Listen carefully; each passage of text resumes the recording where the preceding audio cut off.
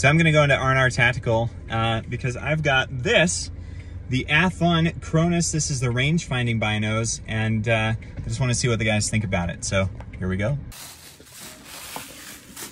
So Athlon sent me the Cronus range finding binoculars and I'm just over here at R&R hanging out with these guys and we figured we would just uh, take this for a little spinny spin and see what was going on.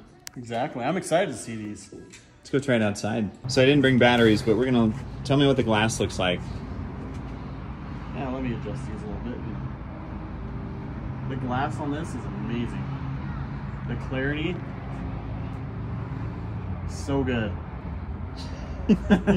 You're not just saying that? I am not saying that. The, the glass and the clarity on these is, is amazing. I'm just peeking off over there down the trees and the businesses, and it is just awesome to see.